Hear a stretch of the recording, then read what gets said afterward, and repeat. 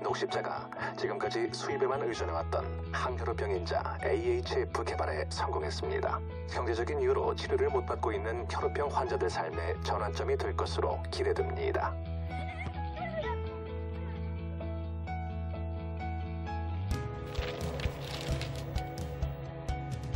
국민병이라고 불리울 만큼 우리나라 인구 350만 명이 보균자로 추정되는 간염을 예방할 수 있는 백신이 미국과 프랑스에 이어 세계에서 세 번째로 우리나라에서 개발돼 양산되고 있습니다.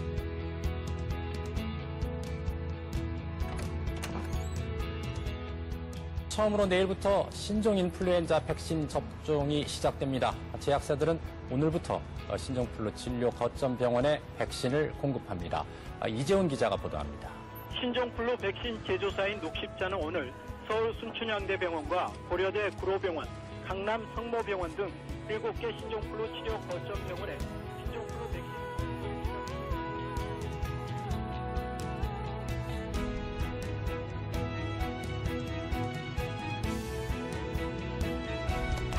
아빠 건강하세요.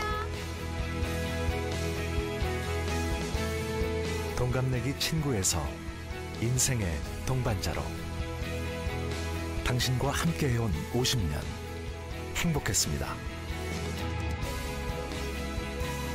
또 그렇게 당신 곁에 있겠습니다.